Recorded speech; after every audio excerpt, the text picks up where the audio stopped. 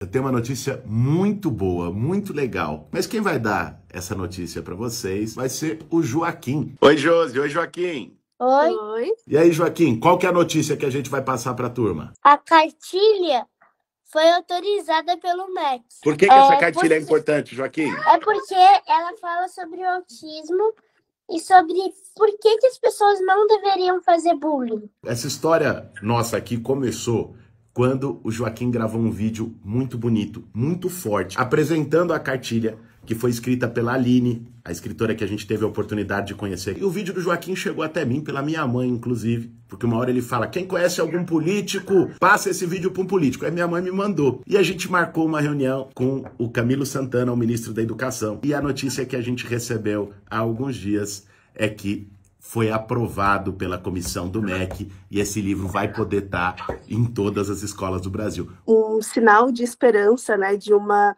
jornada escolar mais inclusiva para os autistas e um pouco mais de conscientização para as crianças que convivem, né, diariamente com os autistas. Com certeza. E você, Joaquim? Não só fiquei impressionado, como eu também fiquei muito feliz. Parabéns, viu, Joaquim? Josi, parabéns, viu, pela tua luta, né, pelo teu compromisso e também dá parabéns para o presidente Lula, para o ministro Camilo, agradecer esse compromisso aí de educação inclusiva, uma grande vitória. Tchau, gente. Obrigado, Josi. Obrigado, Joaquim. Obrigado, Joana. Tchau!